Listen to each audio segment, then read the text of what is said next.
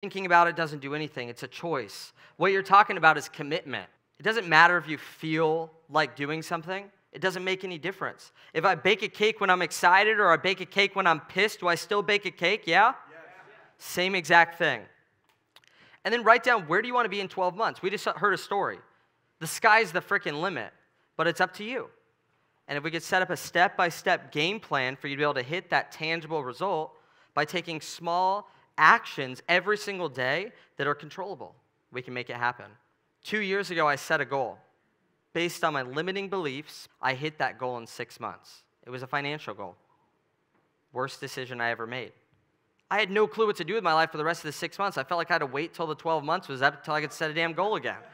I cruise controlled through the rest of that year. So dream big, but also realize that it's all going to be tied to work and effort to be able to get there.